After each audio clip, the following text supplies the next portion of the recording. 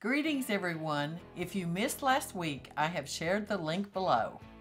Join me as we continue with three more environmental friendly, energy efficient improvements. Our first stop is rainwater harvesting system.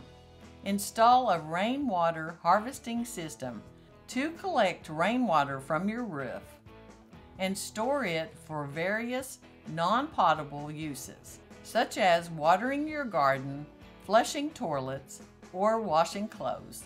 This reduces the demand on municipal water supplies and helps conserve water resources. Next is energy efficient appliances.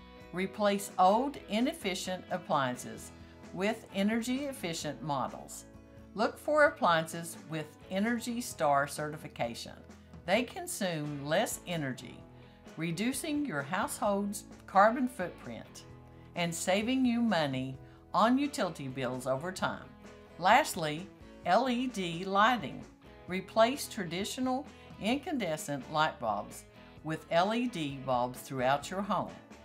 LED bulbs are highly energy efficient, using up to 80% less energy than traditional incandescent bulbs and lasting much longer. Additionally, LED bulbs do not contain hazardous material like mercury found in CFL bulbs, making them safer for both your home and the environment. These improvements can contribute to a more sustainable and eco-friendly home, while also potentially reducing your energy and water bills. If you have any questions, comment below or email me at loriclick at remax.net. Hit the like button and share this video with your friends and family. It really helps the channel out.